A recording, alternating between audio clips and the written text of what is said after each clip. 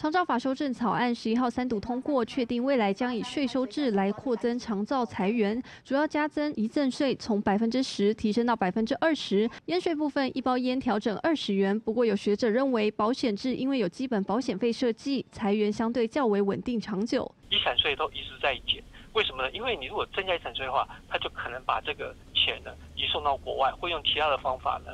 来来来造成呢，就是说遗产税哈，它的会长期来看的话，它会呃会减少的。所以烟捐，我们是政府呢是不不鼓励人民吸烟，但是呢，我们用这样的烟捐的钱来移转到这种所谓长期照顾上面呢，我们觉得它都可能呢。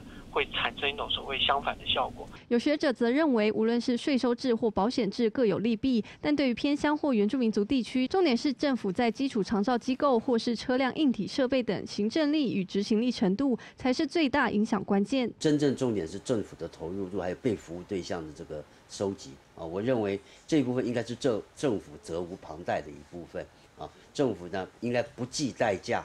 也不计它所谓的成本，也不计说未来是否能够有足够的收入来营运，这本来就是政府要用税收啊税收来去完成。至于缺乏长照资源的原住民族地区，能够得到多少资源？原民会表示，由法院确立裁员之后，一年预估硬体设施或辅具部件费用会有十亿多。十年的话，会有一至少会有一百多亿这样子。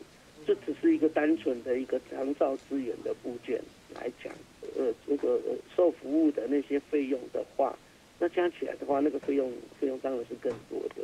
在我们的原住民地区，外界质疑裁员不稳定、易变动的部分，卫福部表示，上路两年之内还会再针对长照裁员建制进行通盘检讨，研拟其他税收或采用长照保险制的可能性。